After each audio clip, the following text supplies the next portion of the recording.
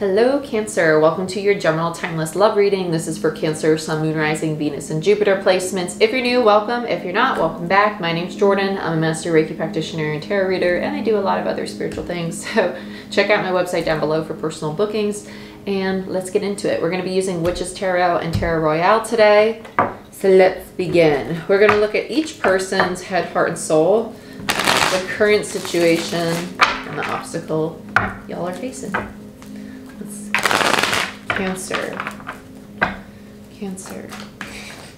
Cancer, they show me rabbits. When I see rabbits, rabbits are about like abundance and freedom. It's very lighthearted, uh, playful. And some of you really need to spend more time outside because uh, they immediately now put me in the woods.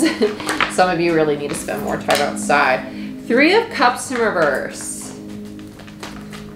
This feels like a disconnect. Um, that's in somebody's head, heart, soul. Interesting.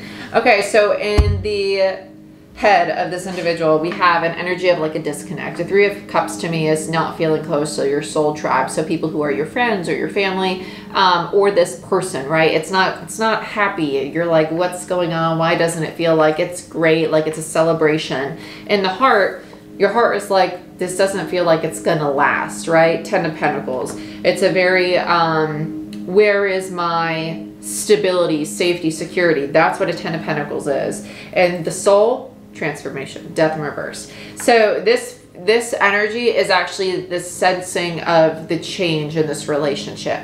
It's not ending, it's not dying. It's going to be remade in a new way. So whether it be platonic, romantic, take it as it resonates. Let's see this other person. So in their head, they have the Six of Wands. They're like, I know this is to work. um, and then we have the devil, and then I'll take the magician. Actually, I'm just to put them both back. We'll just shuffle again for the bottom. There it is. Six of Cups. I like that they have a six and a six here. This is really nice. Death is Scorpio energy. The devil's Capricorn energy. I like this a lot. Um, this individual is like, everything's to be fine. I'm not worried about it, right? In their, in their heart, they have this, I want to deal with like my hurt, my pain, addiction, toxicity, attachment, codependency. That's what the devil is. Um, with the six of wands in their headspace, they're like, we're to get through this and we're to be victorious, right? I like that. It's like this um, energy of like applaud and recognition. Um, and in their soul, they have the six of cups knowing that this is a very um, balanced relationship in the soul like in the in the soul is the authentic self right? So the soul is like i know that this is my person. Like i know that this is like who i'm meant to evolve and change with right? Uh, this is nice. I like this. Let's go into oh interesting. Magician. There it is again. Okay yeah. And then we have the lovers in reverse as the obstacle Bottom of the deck is the Four of Pentacles in reverse. Uh, four, four of Pentacles is like the release of control. It feels like it's someone, it feels like almost like someone's squeezing the other like really tight and it, it's a need to like let it breathe. Let it breathe, let go.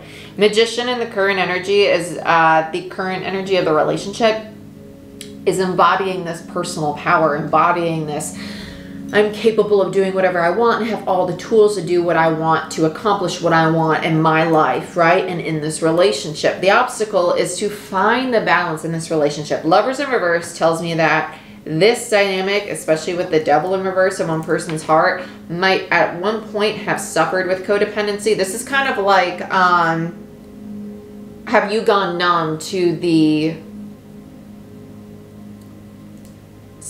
this special essence that this relationship has. Like when a lover's is in reverse to me, it doesn't always mean like an ending of a relationship. It means like, have you forgotten like how unique each of you are and what you both really bring to the table? Like, have you forgotten to see the best in this person? Right? That's really what this is, especially on top of the magician. It's talking about each person's um, abilities, talents, what they bring to the table. And it's like, have you forgotten that? Okay? Or lost value in it.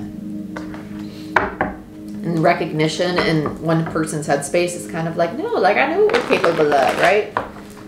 very very opposite views like one person's like distance like i don't feel connected the other person's like we're gonna be fine like like cup half full cup half empty uh it's interesting okay let's go let's clarify i want to look at the sport no yeah sure four pentacles ace of cups there it is Fool in reverse five of swords and the hermit okay so you have an ace and the fool, two cyclic energies. I am a huge fan of cyclic energy, especially that you have death and a 10 over here. So two energies of completion, of an ending, not of the relationship, right? Of the way that the relationship has unfolded. So with the hermit here, it does tell me that there is going to be some time in solitude. This could be like just talking less throughout the day. It could be doing more things by yourself than together as a unit. It could have it, it could be having more physical space between the two of you because what's transpiring is the change, the evolution in both individuals on an energetic level, which makes sense at the end of Lion Gate just happening. We had that super harvest moon um, just a few days ago. All those things create a lot of high frequency energy that challenges us to really connect with the emotional side and purge what no longer is needed. Okay, Ace of Cups here with the Fool in reverse. This tells me that that need for self-love, self-care is what's going to almost act as the catalyst for this new beginning. And that might be why somebody sees it as a risk. Like, oh my God, it's really scary to talk about these parts of me that like I'm struggling to love or struggling to really connect to. That's why you might need to talk to yourself first about it. Um, I'd recommend doing mirror work for something like this. Like I do that a lot. Like if you ever really look at yourself in the eye in the mirror or even put your hand against your own hand in the mirror, that creates a really deep connection with other parts of you that you might need to talk to, right? You might need to tell them things that you haven't heard externally, right? That's a different way to practice self-care. Affirmations or listening affirmations doesn't really do it for you that much, try looking into the mirror and talking to yourself and affirming things to yourself. I am, you are, we are, right? Okay. Five of Swords. It's just telling me that this is a really challenging time. The Five of Swords is the lowest of the low before the 10. It's like, okay, this is as poopy as you're going to feel about this, but that's why it's the need to go hermit mode. Like, this is going to be really hard. It's going to be really challenging and it's going to create a lot of conflict within you and that might mirror in the relationship but it's this is like the lowest of the low then you go to the six of swords and then you're moving forward again. You just got to make it through the change the transition. I like it. Okay let's look at the three of cups in this uh, individual's head. It's just making me want to laugh right away? I don't even know. Strength. Um this is Leo energy, and we are in Leo season. I like that strength came out, and they have the infinity sign above the head. Lion's Gate was on the 8th, which is indicative of that, like, infinity sign, right? So, um, with strength here, I feel like this person's really aware of uh, the parts of themselves that need healing, right? The parts of themselves that they might be struggling to love or care for. Yeah, Ten of Swords. They're like, okay, I know what I need to work on. I should just do it. I just I should put a nail in the coffin, right? Just get it done with. That's why the dis- that's why they feel this distance. It's not that this person's creating distance. It's that the universe is like, hey, we're gonna pull your person away a little bit because you got some things that you gotta heal, right? It's kind of like that. Ten of Swords. Ten of Swords is the ending. When someone's going through a Ten of Swords, they need space to purge that because it's within them. It's within them and it's what they've attracted in their external environment because the 10 represents the external. So this is going to show up and might feel as if it's the relationship, but it's only because you've gone through the Nine of Swords, which is the self, right? The stress, the anxiety, the fears, the worries, the devil. Okay, let's look at the Ten of Pentacles.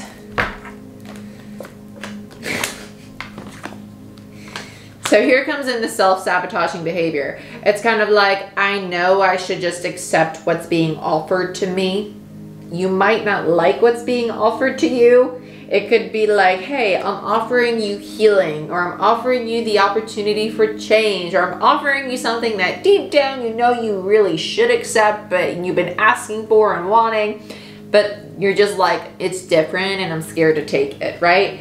And so there's the self-sabotaging behavior to this offer. This offer is coming in out of love, like, hey, let's do this together. Like, hey, let's let's lose 20 pounds together. Oh, that means I have to change my eating habits. That means I have to drink more water and sleep better and do things that are hard and I don't want to do it because it's uncomfortable, right? It's human nature. It's attachment. It's attachment to old ways of being.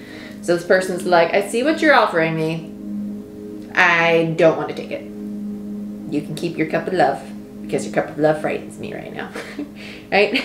And that's just a very stubborn queen. queen of Wands is very stubborn. They're very creative. They like to do things on their own and they want to do it on their own time.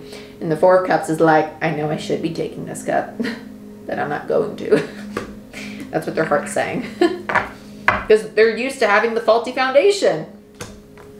That's what's changing. So let's look at this death. Let's look at it. Six of Wands. So everything that's showing up over here is kind of mirroring over here. Like Seven of Swords is equivalent to the Devil to me, and the Six of Wands is what's in their headspace. What's ending here is the lack of like recognition. Like they're like, oh, I don't want to really, it, like recognition, accountability go hand in hand for me as a reader. So the Six of Wands is like, I'm not getting recognition for what I have already done. And the universe is like, you haven't even gone through the change yet. Like, you want the recognition, but you haven't gone through the change yet. You've opened the door to the change, but you haven't stepped through it.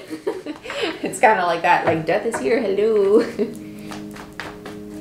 Let's put a nail in it, right? Let's get another on death. Emperor. It's challenging this individual to take control of their own life. The Emperor's divine masculine energy. It is this energy of I know what safety and security feels like within myself, right? And I know how to create it in the external. They are the master of the kingdom, right? They protect and look out for the people in their lives as they do themselves. They create safe, structured realities for the people around them and for themselves. But the thing is, they have a lot of tens, a lot of external energy. They need to give themselves that recognition. Are you recognizing that you are capable of being this emperor? Turn the energy inward. It's funny because I started doing these weekly readings with like ascendant, descendant, so like uh, like polarity. So if you're a Capricorn rising, Cancer would be your descendant. If you're a Cancer rising, Capricorn would be your descendant, which represents like your shadow, your ego, right? So if you're really attracted to Capricorns or people with strong Capricorn placements, it's because it shows an aspect of you you might not be aware of or see, right? So check out if this is your rising sign, your descendant or even if it's not your rising sign, right? just the polarity of you, the opposite. Let's look at the Six of Wands in this individual's headspace for Cancer. Okay. Six of Swords in reverse, Eight of Cups in reverse, the Tower in reverse, and the Two of Wands. They're kind of like, okay, well, I'm just going to sit here and it's going to kind of hype myself up, do my own thing for a little bit because between the six and the two is a four of wands. They're creating a structure in their own life, in their own head. They're like, everything's going to be fine. I'm going to create stability in my own life. I'm to get this in the bag, you know, and I'm just going to like emotionally attach for a little bit and kind of go like do my own thing because obviously shit's happening over there that I can't control, right? Tower. Tower moment. They're like, okay, we're in the midst of a little chaos, a little spinning around here, right? We're to let it go. Going to let it go not my circus, not my monkeys kind of vibe. Okay. Um, this individual is also reviewing a lot of change and transformation that they've gone through with the six of swords heading towards the tower to me it's kind of like actually let me just like dot my i's and cross my t's so they might even be going hermit mode on you and if that's why you feel really disconnected it's because they are emotionally disconnecting not per se from you personally but just in general to kind of go inward let's look at the devil in the heart space almost said six of wands. Eight of wands. Three of cups. yeah, so their heart is like, I know that we're gonna come back together, me and this person. Like, I know everything's gonna be fine. This is the card of reconciliation. It's also the card of celebration. It's friends, family, soul tribe, people that you're really close to. It's feeling that community again. So this individual might be really focused on building a community in which they do feel safe and comfortable with. That brings them to life and makes them feel alive again and this is also them wanting to rebuild this with this person. Eight of Wands, it's going to happen very quickly because they're going to open up their heart space and be like, hey, like this is me. This is my true face. Let's look at the Six of Cups and the soul for this. This feels like completely different all of a sudden. Like, um, it felt like a big stop sign was thrown in front of me when I came to the Six of Cups. I feel like this is like a big, like spiritual thing, to be honest with you. It felt very intense. Knight of Wands. King of Cups in reverse.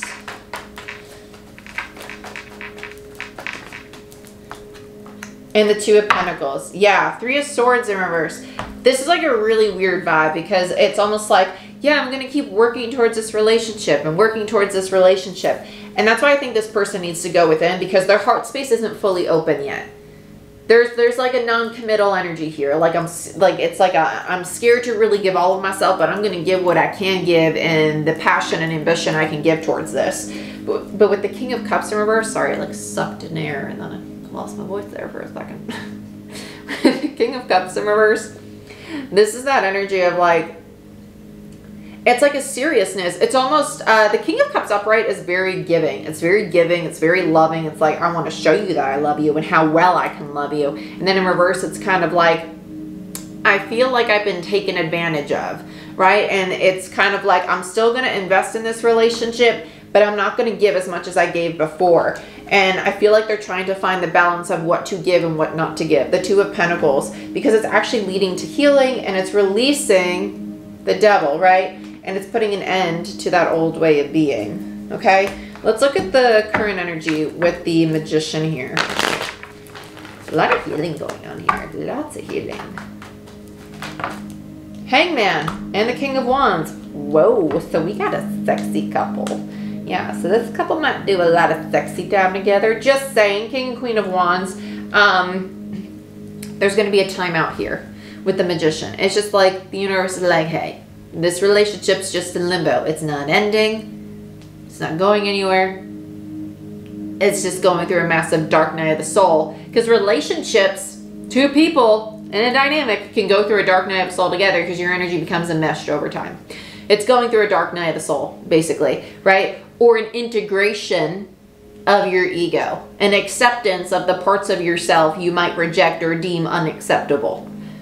And then this King of Wands is like, wait, I forgot how powerful I am. Let me just be a boss bitch for a second here and, you know, get it all together. Because the King of Wands is someone who's really creative. They're really passionate. They know what they want. They're going to go for it. Um, so this is kind of a mutual energy that both people are going to start to embody, but it's going to take time. And that's why the hangman is here. That's why we have a lot of cyclic energy with the tower, the ten of swords, the ten of pentacles, death. Um, then we have the, the Fool and the Ace of Cups, right? Just a lot of cyclic energy, things coming to a close. Let's look at the Lovers and the Obstacle. King of Pentacles in reverse, Four of Pentacles, and the Queen of Cups. So another, yeah, so we have the masculine and feminine consistently imbalanced, right? So we have one person who's like really, really loving and, and really intuitive and like really like I know what you want and I'm going to meet your needs. And like, it's kind of like self-sacrificing. And then the other person, like, I'm not going to self-sacrifice. I'm trying to figure out how much to give to this and how much not to give to it. And then we have somebody else who's like, the Queen of Wands reversed is, is a really insecure energy to me. It's someone who doesn't feel confident in what they can create or build. This might be someone who struggles to get projects off the ground. And with the King of Wands, then we have the other person who's kind of like, I can do anything I set my mind to, right? Because Wands are creative, art-based energy. So this could be two business people um, that are also in a romantic relationship, or just speak to your relationship in general, okay, and your personalities. But with the Queen of Cups here and the Four of Pentacles and the King of Pentacles, there's like a, there's a, um, there's an imbalance between the practicality and the emotional side of this relationship. Like, are we giving way too much emotionally, like self sacrificing ourselves for the relationship and forgetting the safety and security, the stability of the foundation, right? Because King of Pentacles and Queen of Pentacles represents structure, represents how stable is this foundation? Is it something that's really going to last the test of time, or is it something that is going to be chucked out the window because we don't have anything to stand on? Okay, so this is the struggle. It's balancing, like, yeah, we could have love, but we also need that stability and to need to release control out of um, the fear of not receiving that love, right? Because that's what's creating the faulty foundation, the imbalances in this relationship. Bottom of the deck is the Two of Cups. Yeah, really strong relationship. Queen of Swords, Page of Pentacles. Both people know that they need to learn to rebuild the foundation into something that's more stable. Justice. Libra energy, right? Balance. Queen of Swords, Libra energy. A lot of balance energy going on here. Um, yeah, Cancer, this is what I have for you. I don't see this relationship ending. I don't see it like really moving forward at this time. I think that you're just in a little bit of a limbo because both people are going through a lot of change, and that's okay. Be patient with yourselves. Don't try and coach the other one through it. Just support one another. Everybody's going to have to, you know, lead the horse to water, but you can't force it to drink, right? They got to drink on their own, basically. in a nutshell. But if you want a personal reading or Reiki session, book it down below. Like, share, subscribe. Please give this video a thumbs up. It helps the channel grow. I love you. I wish you the best. And I'll see you